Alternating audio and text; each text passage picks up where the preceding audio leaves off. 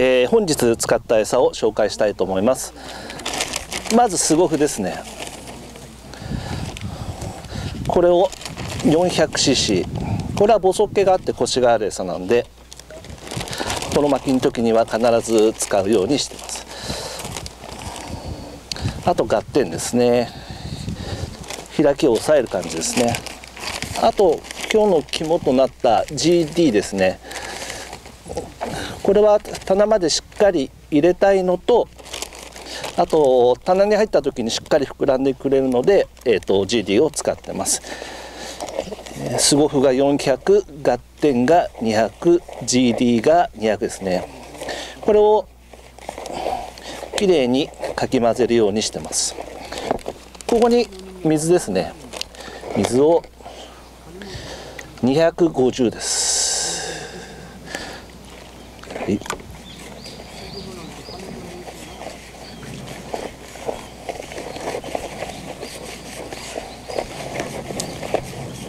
エアーを入れるような感じで軽くかきますです。これでもういじないでこれで終わりですね。えっと、これで元餌ができたんですが、えっと、打ち始めは自分はこの元餌からそのまま打っていきます。で活性がその時の活性にもよりますが大体状況はこのボソが、えーと、少し、えー、抑えられてて柔らかい感じの時に大体その連れてくることが多いので基本的には元餌を3分の1ぐらい取って軽く手水を打ってこのくらいかな。こんな感じですね。でちょっと細毛を取ってあげて。ちょっとエアを抜いた感じで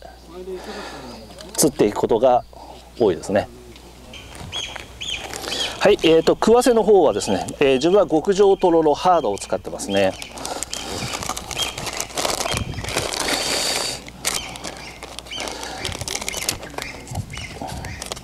自分はこの繊維に沿ってまず半分に切るようにしてます。半分に切ってそれを今度はこの繊維をこれだと繊維が長すぎるイメージなので自分はここで半分に切ります。これを自分はあのジップロックとかに入れて保存するようにしてます。でこの極上とろろですがえっとダマにならないようにで繊維が長いなとか思えばそこを切っていきますし何せこの段階で丁寧にやっとくとダマにならないでいいとろろが作れるんでで自分は、えっと、水が多いと抜けやすくなったりするイメージなので自分はその水を少なめにして手で持って針付けするようにしてます。でこの水浸す時も自分はこう大きなボウルでとろろを広げて均一に水がいくように。最小限の中で水が行き渡ってでこれをこう一つにまとめて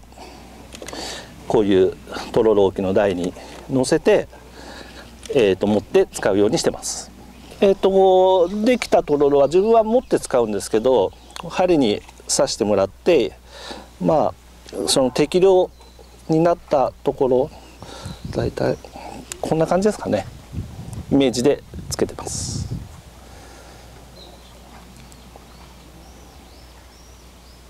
今日も、はい、まあ時折この馴染み方がちょっとこう浅くなったり、はい、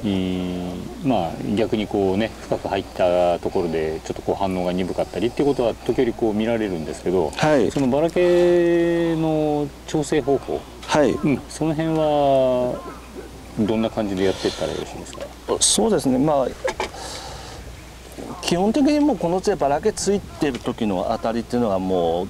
前提にあるので、うん、今日はもう浮きの動きが